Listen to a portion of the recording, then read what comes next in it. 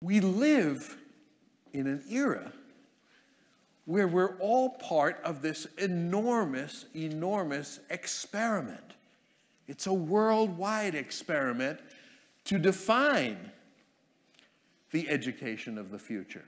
We're trying to figure out what this education should be. And that's why we're all here today. And that's what SM is trying to do. And that's what we're all trying to do is figure this education out. So Facebook, for example, many of you, maybe all of you are on Facebook. At least you know somebody else who is on Facebook. Facebook, you can look at it in many ways.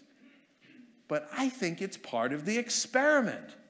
It's a great world experiment to figure out how to behave when we are all connected and all nodes on a network. We don't know that answer. Is the answer to share everything? Is the answer to share a little bit? Is it to have a lot of friends? Is it not to? We don't know. So we're experimenting.